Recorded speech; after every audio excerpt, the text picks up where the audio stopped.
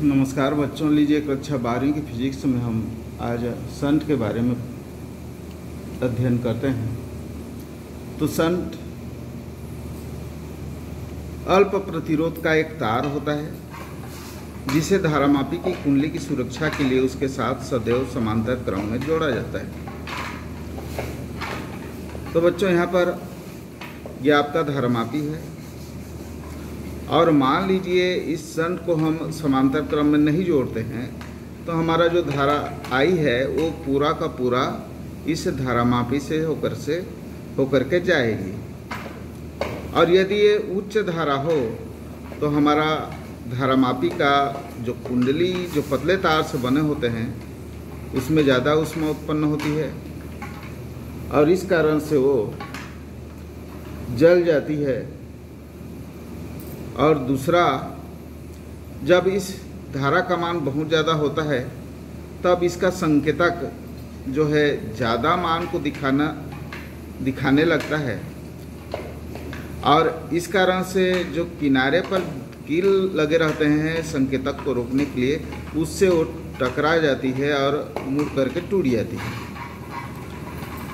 तो इन दो खराबी को जो धारामापी में आ जाती है, यानी सन यदि न हो तो धारामापी का कुंडली उच्च उष्मा के कारण जल जाती है धारा होने पर, और साथ ही संकेतक भी टूट करके खराब हो जाता है। इसको रोकने के लिए हम धारामापी के साथ समांतर क्रम में अल्प प्रतिरोध का तार जोड़ देते हैं। और इसी अल्प प्रतिरोध के तार को हम क्या कहते हैं? संट कहते हैं। और संट की परिभाषा, संट अल्प प्रतिरोध का एक तार होता है, जिसे धारामापी की कुंडली की सुरक्षा के लिए उसके साथ सदैव समांतर क्रम में जोड़ दिया जाता है। यहाँ पर आप देखते हैं, ये समांतर क्रम में जुड़ा हुआ है, और ये जो परिपथ में धारामापी हो, हमेशा श्रेणी क्रम में जोड़ा जाता है। अब इस तार को यहाँ पर जोड़ दिए तो यहाँ पर देखिए, यदि आई धारा प्रवाहित हो रही है तो कुछ भाग जो है धारा का धारामापी में से हो सक, होकर के प्रवाहित हुआ, और कुछ धारा जो है आई एस के रूप में, यानी संट में से होकर के प्रवाहित होकर के इस तरह से उसको साइड में आप बाईपास रास्ता मिल जाता है। जिससे ये धारामापी का संकेतक और उसके कुंडली क्या रहते हैं? सुरक्षित रहते हैं, यानी कुंडली जलती नहीं है, और संकेतक टूटता नहीं है। तो अब बच्चों, हम आ जाते हैं इसके समीकरण पर। माना धर्मापी की कुंडली का प्रतिरोध, जी। कुंडली का खुद का, धर्मापी का खुद के कुंडली का प्रतिरोध होता है। मान लीजिए वो जी है, और हमारा संट का प्रतिरोध एस है। यहाँ पर लिख दिया गया है, ये जी। इसका जो प्रतिरोध है, जी से ही प्रति कैपिटल जी से इसको निरूपित कर रहे हैं और इसको एस से प्रति और माना परिपथ में बहने वाली धारा आई है। अब आई धारा कुल यहाँ पर आया और तब आई जी धारा, धारामापी में से प्रवाहित हुआ और आई एस धारा संट में से होकर के प्रवाहित हुआ। इस तरह से हम देखते हैं कि कुल धारा आई बराबर ये दो भाग में बढ़ गया है। इधर से अब गया तो ये दो भाग में बढ़ गया, यानी इन दोनों के योग के बराबर आई हुआ। और इसलिए हम देखते हैं कि कुल धारा आई बराबर आई जी यानी धारा मापी में से बहने वाली धारा प्लस संट में से होकर के बहने वाला, वाली धारा। अब हम ओम के नियम से देखते हैं कि धारामापी के सिरों के बीच विभावांतर और संट के सिरों के बीच विभावांतर बराबर होते हैं, क्योंकि ये समांतर क्रम में जुड़े हैं, इसलिए इस सिरे और इस सिरे पर। और इसके राइट राइट सिरे पर, यानी इन दोनों सिरों पर जो है हमारा विवाहांतर समान होता है। अब बच्चों, यहाँ पर हम ये देखते हैं कि इनके दोनों के सिरों के बीच विभावांतर समान होता है, इसलिए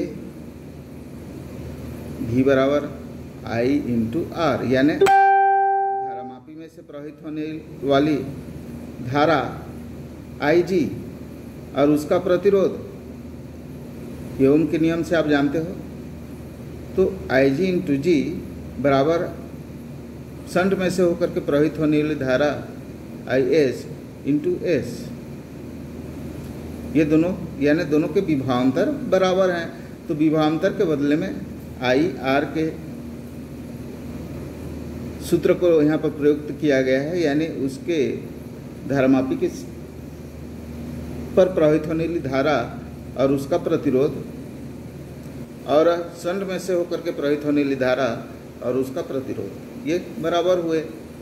अब हम यहाँ पर देखते हैं, इसको पक्षांतर कर दीजिए। आपको आई जी को इधर ले आइए, ये इधर गुणा में है। इसलिए इसके हर में जाएगा और एस को इधर ले आइए तो ये हो जाएगा G upon S equal to I S ये आई जी को इसके हर में ले जाइए इंटू आई जी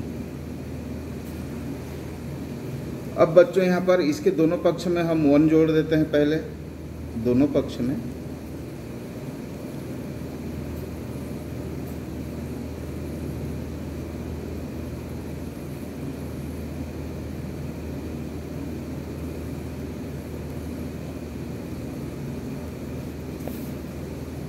इसलिए आपका आई एस इसको इसको चेंज कर दे रहा हूँ मैं अभी। I S into I G plus one equal to G upon S plus one अब बच्चों, ये मिश्र भिन्न के रूप में है। यहाँ आई जे एकम आई जी और प्लस आई एस ऊपर में आपका हो जाएगा। I S plus I G upon आई जी इसका, इसके साथ गुणा और इसके ऊपर में जोड़ दिए बटे अपान आई जी इधर का भी ऐसे होगा। एस का वन के साथ गुणा प्लस जी के साथ जोड़ोगे। मिश्र भिन्न को आप जिस तरह से हल करते हो, उसी तरह से इसको भी करोगे। G plus S upon S अब बच्चों, यहाँ पर हम देखते हैं आई एस प्लस आई जी ये कुल धारा का मान है। इससे पहले वाले समीकरण में हम देखे थे। ये देखिए आई बराबर आई जी प्लस आई एस ये यानी कुल धारा बराबर धारामापी में से बहने वाली धारा प्लस संट में से होने होकर बहने वाली धारा के बराबर है। इस मान को हम वहाँ पर रख देते हैं। यानी यहाँ पर आई रख सकते हैं। समीकरण एक से इसका हो गया पूरा धारा बटे आई जी बराबर है। G plus S upon S और बच्चों, इसको अब पलट दीजिए इसको आई G upon I equal to ये भी चेंज हो जाएगा। S upon G plus S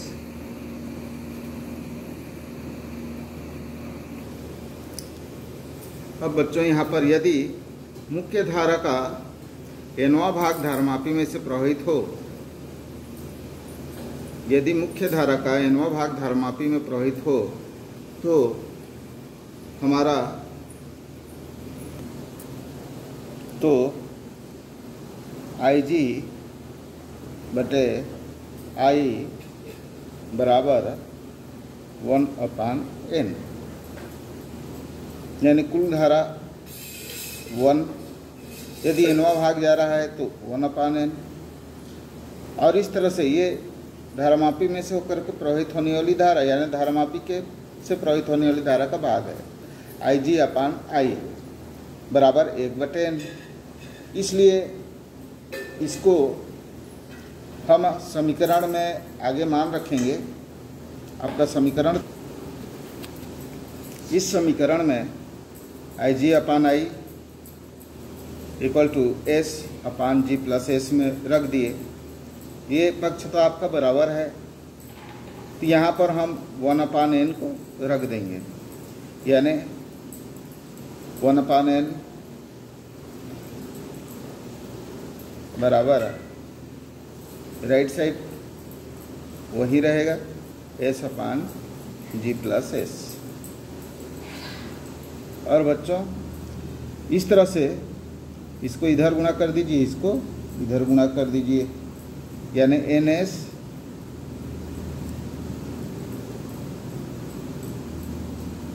बराबर जी प्लस एस। और इसलिए बच्चों, इस एस को इधर ले आइए, जी को इधर रहने दीजिए, तब ये हो जाएगा जी इक्वल टू आपका एन एस माइनस एस और इसलिए हमारा एस को कॉमन कर दीजिए। तो ये हो जाता है एन माइनस वन एस ये जी इक्वल टू आपका एस को हम कॉमन कर दिए बाहर में। और इस तरह से एस बराबर हम निकाल लेते हैं। ये एस का मान तो ये इसके हर में आ जाएगा, इधर गुणा है इसमें। तो ये एस बराबर, इसलिए संट एस बराबर G upon ten minus one तो बच्चों, यही आपका संट का सूत्र है। यानी यदि हम मुख्य धारा के अन्वय भाग को धारामापी में से प्रवाहित करना चाहते हैं तो संट के प्रतिरोध को धारा मापी के प्रतिरोध का एन माइनस एनवा एन माइनस एकवा भाग होना चाहिए। तो इस सूत्र की सहायता से आप धारामापी के परास को बढ़ा सकते हो और धारापान धारामापी में से प्रवाहित होने वाली धारा को कंट्रोल कर सकते हो। तो आशा करता हूँ आप लोग को समझ आया होगा। और कृपया नए हो तो चैनल को सब्सक्राइब करके बेल आइकन को भी दबाइए, ताकि हमेशा वीडियो आपको तुरंत मिले। थैंक्स